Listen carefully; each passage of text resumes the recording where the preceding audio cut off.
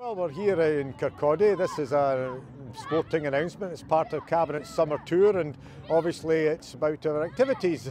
And I'm here in particular because we've announced a cashback for communities facilities fund specifically for rugby.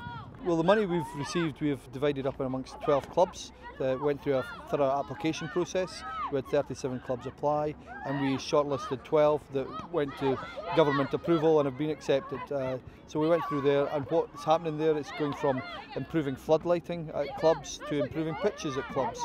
Uh, so it's going from Duns down in the borders through to Cambuslang in the west, and indeed Perthshire uh, up here and Kirkcaldy up here as well, so rugby clubs. So that will help these clubs provide better places for young people to train and play.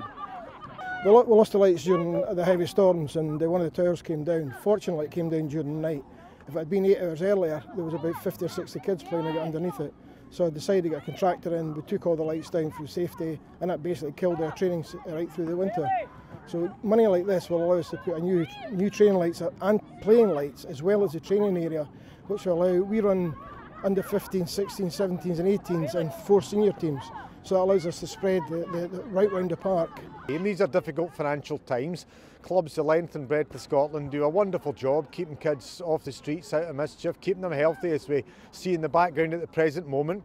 And what we're doing is giving a little bit of money to help them improve their facilities so that in improving their facilities they can improve the life chances and just give some fun to local kids.